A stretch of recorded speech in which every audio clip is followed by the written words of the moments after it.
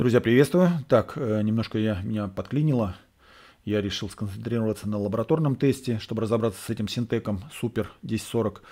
А, вот, но сейчас почитал комментарии и трезво подумал, что ну, хотя бы предварительно можно попробовать разобраться в этой ситуации с тем инструментарием, который есть в наличии. Так, поэтому сейчас я отолью здесь э, в баночку, чтобы удобнее было работать. Канистра большая, она не помещается, видите.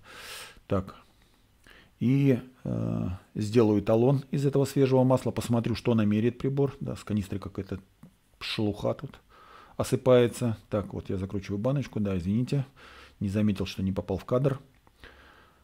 Вот такая, видно, светленькая, как на синтеке, который на Fully сделан. Такой тоже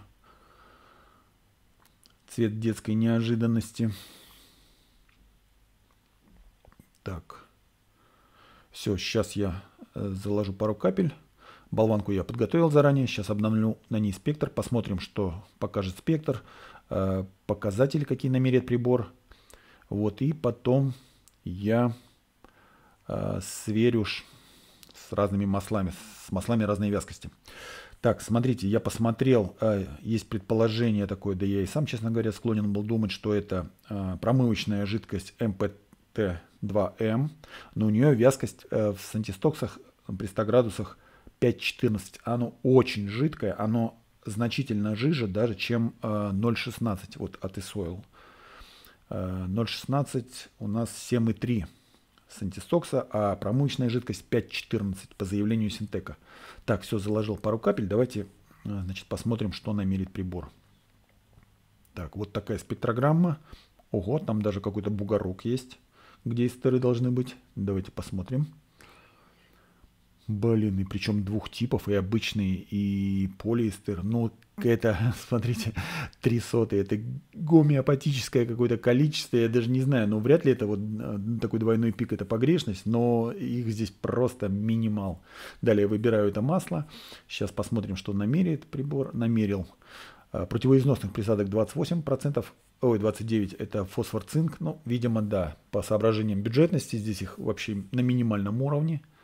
Вот, эстеры тоже можно не принимать в расчет, потому что нам настолько их мало, что даже не знаю, там, я не знаю, пипеткой они в бочку капают или как.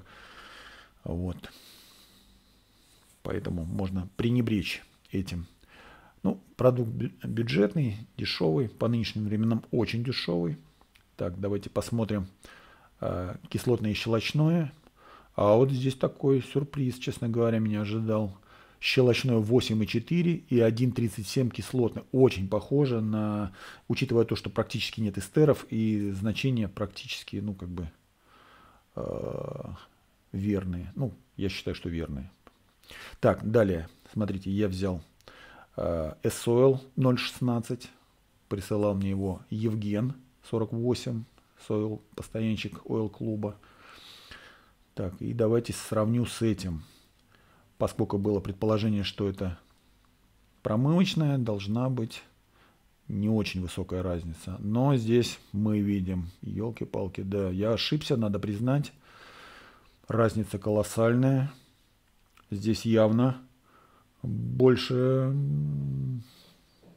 10 сантистоксов. Да. Следующим этапом я подумал, что может быть э, что-то не так с образцом Тоталя 1040 кварца 7000, с которым я в прошлый раз сравнивал это масло. Поэтому я порыскал тут по сусекам, нашел матюль Текма 1040. Посмотрите, какая разница в цвете, да? Насколько темнее матюль. Ну, мне кажется, это все-таки Ричфул. Так, и матюль гуще, 10-40 гуще. Хм. То есть здесь не совсем 10-40 у синтека или, значит, э, по самой нижней границе вязкости от 10-40 это 12,5 сантистоксов. Там от 12,5 до, по-моему, 16,3 э, для данной вязкости вилка. Тогда возможно, что это 12,3. И посмотрите, что я еще откопал.